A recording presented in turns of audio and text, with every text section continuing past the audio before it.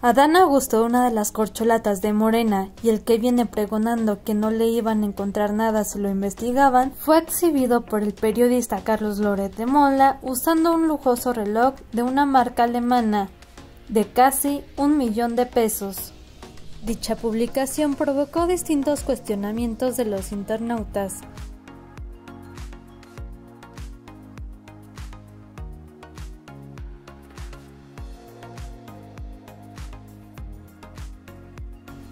Incluso el director de la revista Etcétera le mandó un mensaje diciendo que si él rechazó 5 millones de pesos que le asignó Morena y que propuso que se dieran esos 5 millones a comunidades indígenas, pero es ilegal, le dijo que lo que sí es viable es que usted done su reloj de casi un millón de pesos a esas comunidades, indicando que se anime porque al fin y al cabo él vive con 75 pesos diarios.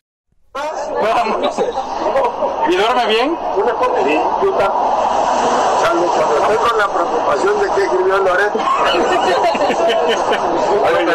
un reloj de un millón de pesos.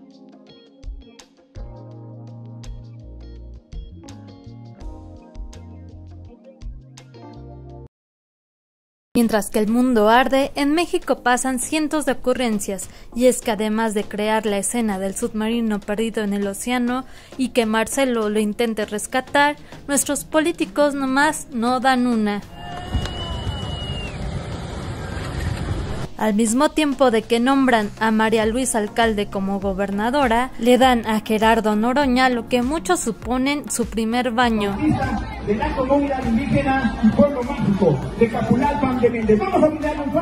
Mientras tanto, la oposición está indecisa de si presentar o no a sus candidatos electorales rumbo al 2024. ¿No? ¿Sí? ¿No? La pregunta es si se pasarán por el arco del triunfo a la ley electoral para así alcanzar a Morena.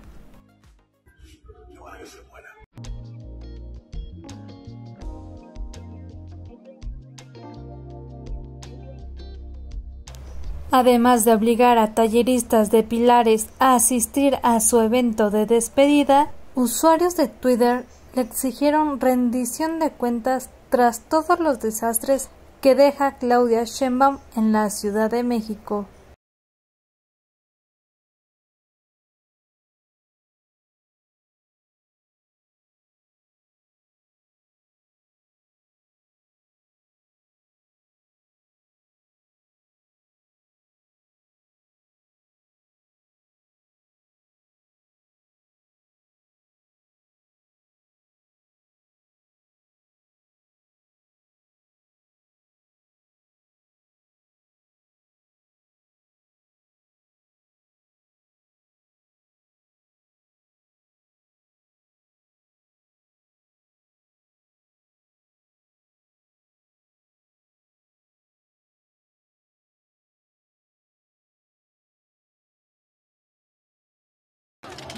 Dejo la jefatura de gobierno para buscar ser la primera mujer que encabece los destinos de la nación.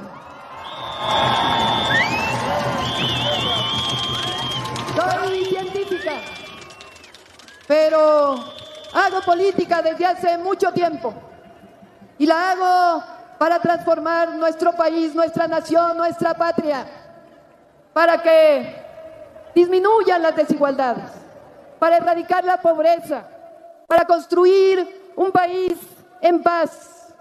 Me siento confiada en cumplir con el objetivo de nuestro movimiento, darle una verdadera continuidad a la transformación iniciada por el presidente Andrés Manuel López Obrador. Y recordar que la honestidad siempre dará resultados.